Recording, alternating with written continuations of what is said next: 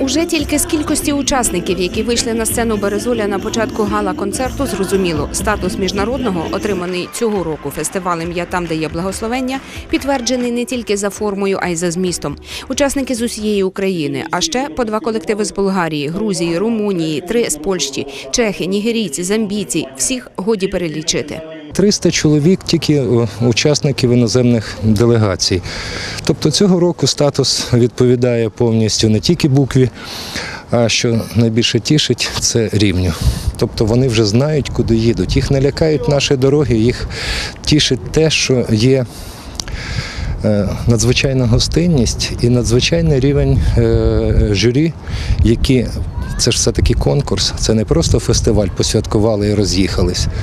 А це конкурс, який підтверджує або зменшує той статус, до якого вони звикли. Є конкуренція.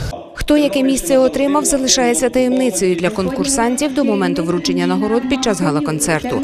Коли ми знімали представників Криворізького музичного училища, вони ще не знали, що їх хор відродження став володарем гран-прі фестивалю. Надіємось на перемогу дуже. Як ви оцінюєте рівень своїх конкурентів? Сильні є конкуренти дуже такі. Ще приїдете сюди до нас? Да.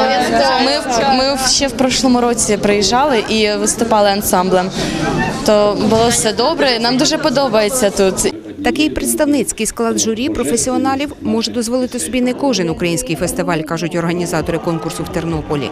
Натомість високим рівнем майстерності учасників був дуже вражений член журі з Чехії Ростислав Стройвус. Одночасно він супроводжував хор Касіопея з Чехії та яке місце хор посів чи не посів на фестивалі «Я там, де є благословення, перед гала-концертом не знав. Ні, ні, не, не знаю, тому що я був в журі інакшому, е, я в вокальній е, в іншій групі журі був. То той, хто привіз, член журі своїх не судить своїм так, оцінкою. так, так, Тобто рівень суддівства абсолютно об'єктивний. так, я, мені сподобалось так. Грузини з Батумі, незалежно чи отримують якусь нагороду цього разу, на фестиваль «Я там, де є благословення, обіцяли приїхати і наступного року, бо в Тернополі і в Україні кажуть, почувають себе так затишно, як вдома.